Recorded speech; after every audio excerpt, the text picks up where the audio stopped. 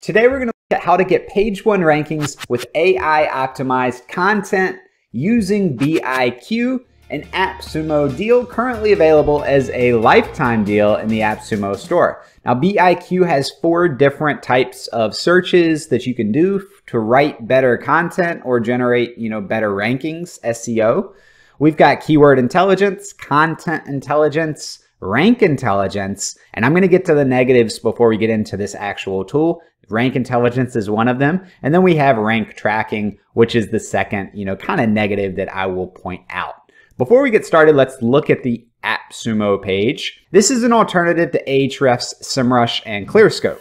Now, I don't think it's a fair alternative. I mean, I think it's, you know, quite down the ladder because SEMrush, Ahrefs, all those tools, they command that high monthly fee that many SEO agencies and many people that do SEO willingly pay. Uh, those are very advanced tools. They have far more features, far more everything. But those tools are different today than they were back in the day. And BIQ is still very early in the process. So you're kind of getting in early, but there is definitely some inherent risk here with BIQ, especially in the sea of SEO tools. Now here we have single code stack, which is what I got. And you're only going to get these 7,500 total ranking discovery one-time credits. Uh, I think that's probably going to go quick the way that some of these credit systems work. And that is the big negative with this tool. Even if you stack it all the way to five codes, which if I end up liking this tool, I would do that. But uh, frankly, I got one code because I don't have a tool like this. And if you do, if you have a tool that does these types of things, if you look through like the content intelligence. Now down here, I want to point out one simple review real quick. This is a solo practice attorney and uh, he says that the costs of keyword research tools like Ahrefs and SEMrush is pretty prohibitive. And I won't read you the whole review, but essentially he's actually saying that when compared to Uber Ubersuggest and that lifetime deal, the five code stack here for virtually half the price, $245 versus $490, it's a significantly better value. So if we want to get started with BIQ, we can come up here and do a new intelligence, and then we've got our keyword intelligence tool. Let's go ahead and do that. And then I'm just going to click search and we're going to see what happens here. Now we know this is going to be a ridiculously competitive keyword. We also know that in general, there's going to be a fair amount of search volume. So there you go, 74,000, very competitive. And then we get the value score. And here it says higher valued keywords give you more traffic at lower competition.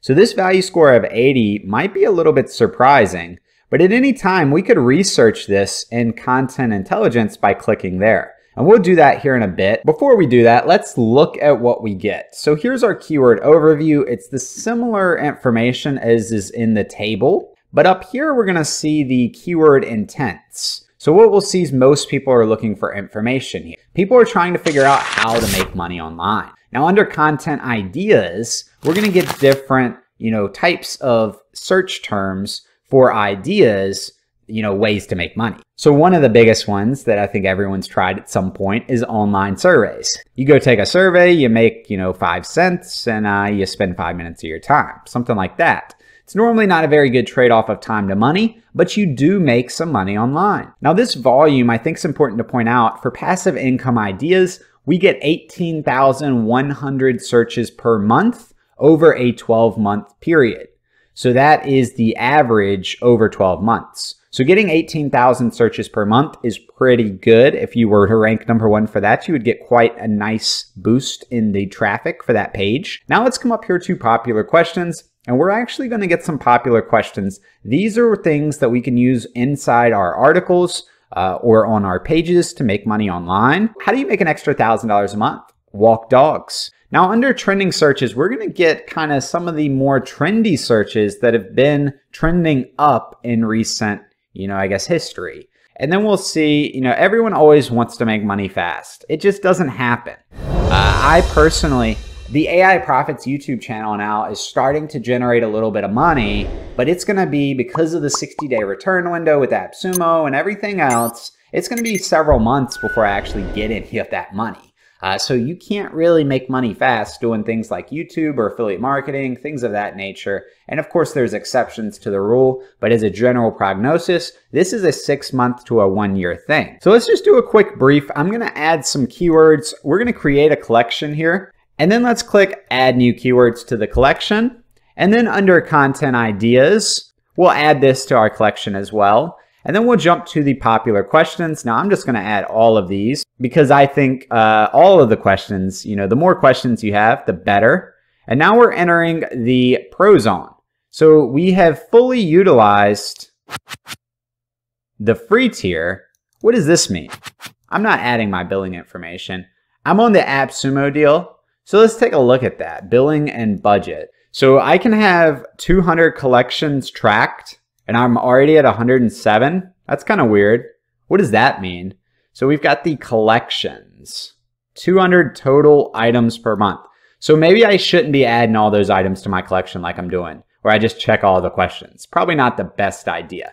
Needless to say, I can delete those out, I believe. So we'll keep going. So now that we've done some keyword research, let's close that out and let's come to the content intelligence tool. And here I'm gonna do videos versus Renderforest. And we're gonna enter in my videos versus Renderforest blog article. And we're gonna go ahead and create a document here. And inside this document, it looks like it's doing some research for us for suggesting some keywords, as well as some analysis, uh, readability, word count, semantic density, keyword density. We'll be able to analyze the content using word vector.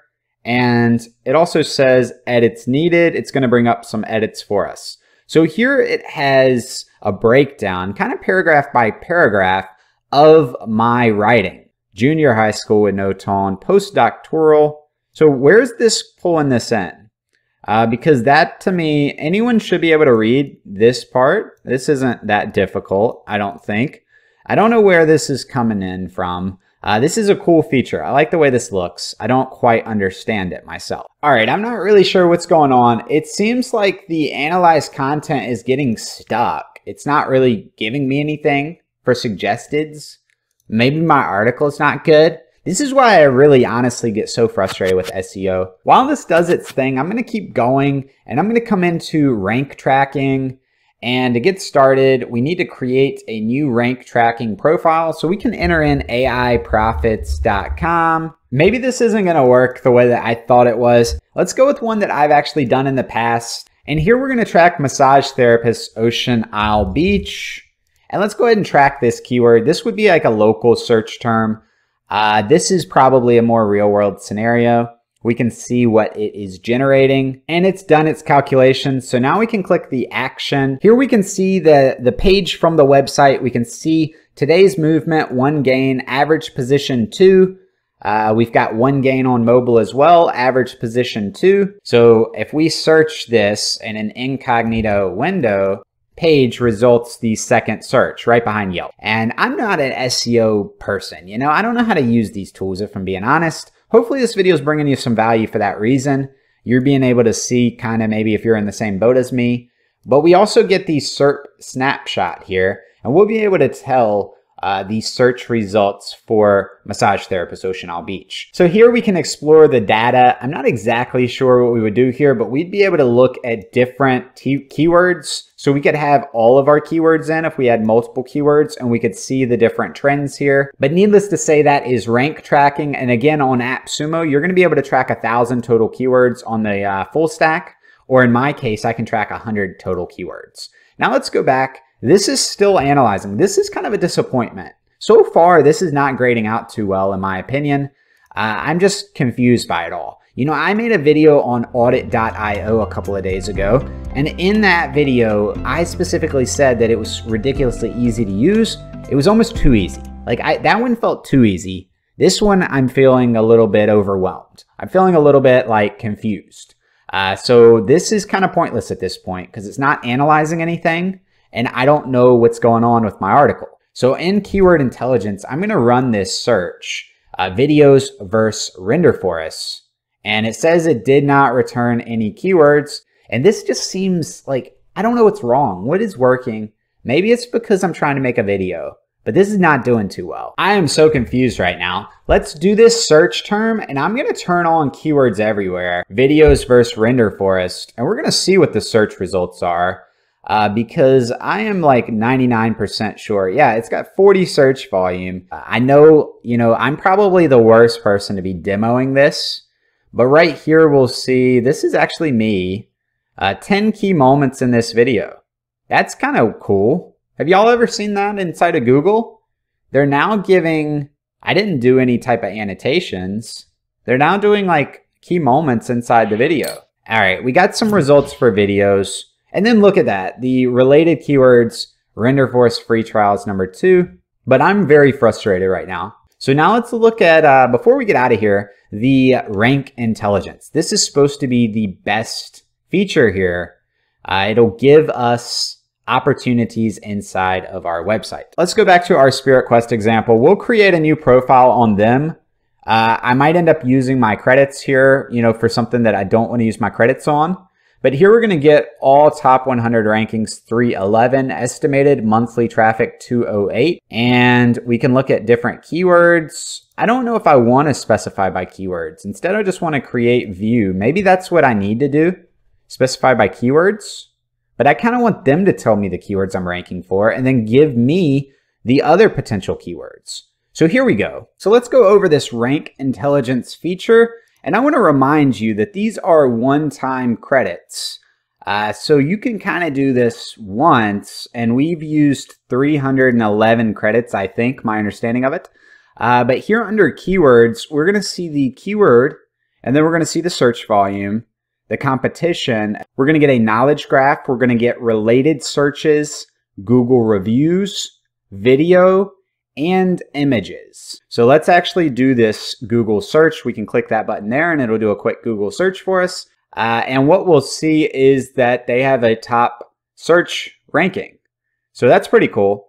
And then down here, we'll also get people also ask. And at the bottom, related searches. So needless to say, it's going to tell you some of the information. And then we can track the actions at any time. So we can click track and we can add this to our rank tracking profile. And then over here, we're also going to be able to do keyword intelligence, content intelligence, which just, you know, is not working, rank tracking as well. So we can track the ranks on these keywords. So this is kind of bringing the tool together a little bit, in my opinion. It's redeeming itself here.